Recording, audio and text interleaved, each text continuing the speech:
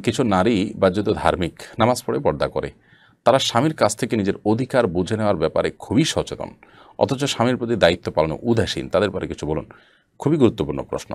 আপনি ধার্মিক, আপনি নামাজ পড়েন, পর্দা করেন, অথচ স্বামীর কাছ থেকে আপনার অধিকার পরও আপনি খুব সচেতন। বাট স্বামীর প্রতি আপনি কর্তব্য পরায়ণ না। সন্দেহিতভাবে আপনি ভালো মুসলিম নন এবং আপনার এই এবাদত বন্দীকে আপনি জানাতে যেতে পারবেন না। একজন নারী হিসাবে আপনার অভিভাবক, আপনার স্বামীকে আপনাকে মেনে চলতে হবে। ইসলাম আমাদেরকে শৃঙ্খলার কথা বলে। আজকে সেকুলার দুনিয়া তারা আমাদের মা বোনদেরকে তথাকথিত স্বাধীনতার নামে যে তাদেরকে উস্কে দেয়, এর ফলে পরিবার এবং দাম্পত্য জীবন এগুলো থাকে না, ধ্বংস হয়ে যায়। উন্নত দেশগুলোতে আমরা দেখি যে পরিবার ব্যবস্থাপনা অনেকটাই ভেঙে পড়েছে এবং এটার কুফল তারা ভোগ করছে। তাদের ডিপ্রেশন অনেক বেশি। এটিও তার একটা কারণ যে প্রশান্তি জিনিসটা নাই। আপনার কোনো না কোনো একটা জায়গায় ছাড় দিতে হবে, বৃহত্তর কিছু প্রাপ্তির আশায় সেই জায়গা থেকে একজন নারী তিনি তার স্বামীকে অভিভাবক হিসাবে মানবেন, শ্রদ্ধা করবেন তার প্রতি দায়িত্বশীল হবেন, তার সাথে কুতর্ক করতে যাবেন না এবং তার সাথে অতিরিক্ত বার্গেনিং করতে যাবেন না যথাসম্ভব।